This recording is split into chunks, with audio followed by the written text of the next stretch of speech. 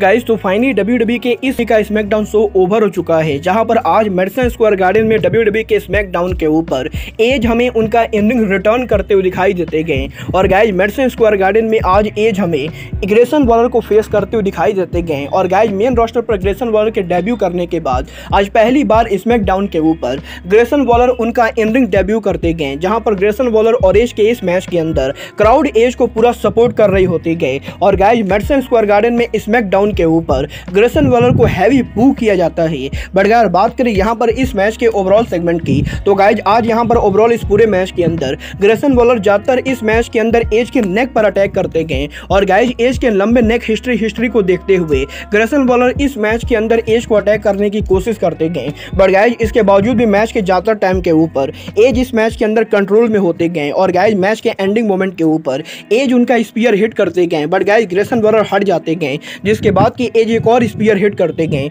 और गाय double spear के साथ एज यहाँ पर ग्रेसन वर्ल्ड को बीट कर देते गए और गाय स्मैक डाउन के ऊपर एज उनका रिटर्न मैच जीत जाते गए।